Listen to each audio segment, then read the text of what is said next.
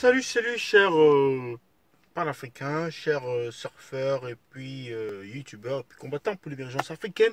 C'est le Banet de Yingi. Je suis à vous aujourd'hui pour parler, n'est-ce pas, de l'influence des leaders, n'est-ce pas, ou alors des activistes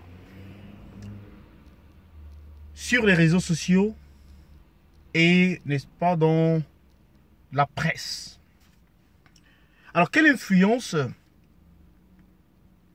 quelle portée, quel impact pouvons-nous avoir en tant que leader ou activiste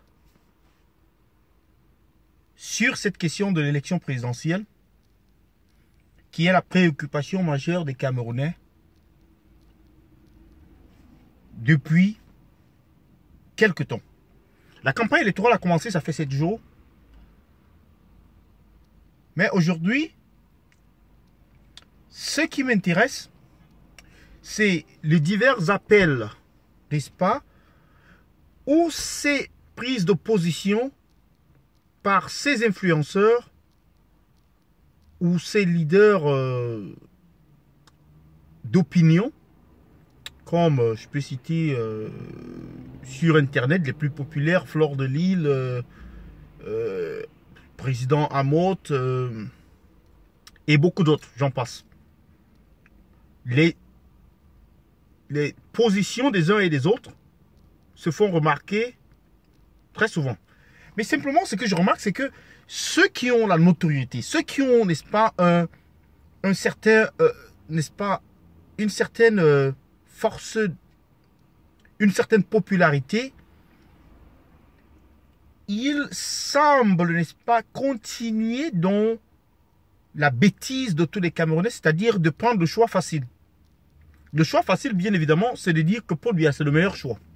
C'est le meilleur risque.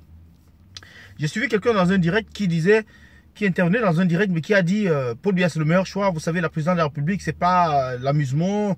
Euh, les élections législatives vont venir alors que ces candidats qui sont, ces personnes qui sont candidats aux élections présidentielles aillent se présenter là-bas. Calbra Libi ne sera jamais maire au Cameroun, ainsi de suite.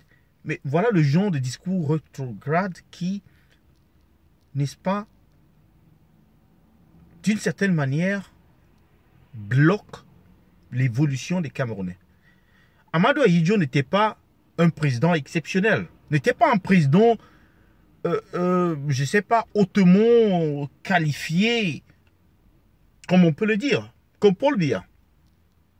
Georges Weah n'était pas un président aussi qualifié, comme on peut le dire.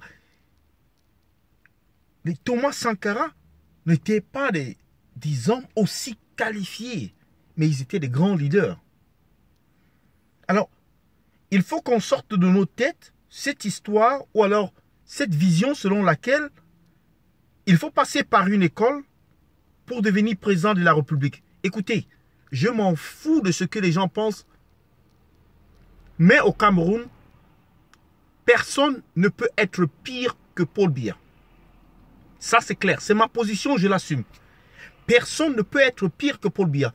Je me suis pris la tête avec certains de mes grands frères. Il y a des aînés, il y a des personnes qui, qui, branlent, qui, qui, qui, n'est-ce pas, euh, font la campagne pour le RDPC, qui disent que c'est le meilleur choix. Attendez, la force de frappe arrive, et ainsi de suite.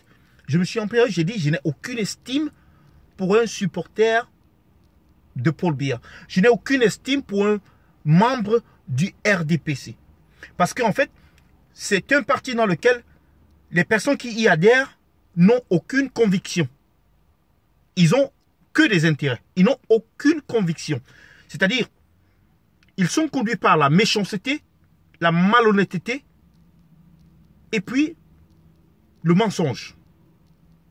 La méchanceté, la malhonnêteté et puis le mensonge. Et leur champion, pareil. Donc quand il se met, si quelqu'un se met à défendre le RDPC, soit il a une position, ou soit il reste un rêveur, celui-là qui rêve que sa position viendra. C'est pour cela que certaines personnes vont dans le meeting. Mais on doit arrêter, n'est-ce pas, cette mendicité. Ces Camerounais doivent arrêter de mendier. On voit dans une campagne présidentielle une voiture du RDPC qui fonce dans un lac, dans un village, alors qu'il y a des gens qui chantent les louanges pour le, roi, tout à côté. Pareillement, on fait des affichages sur des poubelles, des immondices de poubelles. Et je ne sais vraiment pas qui il faut euh, accuser ici, ou alors qui est-ce qu'il faut punir Est-ce le photographe qui a pris la photo?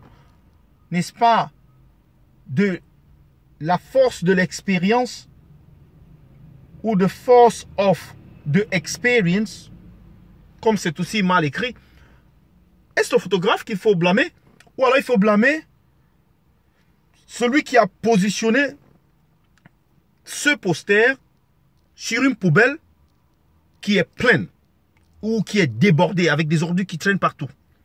Alors, quel contraste Voilà une poubelle, voilà quelqu'un qui dit qu'il a la force de l'expérience, mais quelle expérience a-t-il? Est-ce expérience en abandonnant les ordures Je ne sais pas. Bon, c'est à vous, je vous propose cela et j'attends vos commentaires. C'est le bannet de Ingi.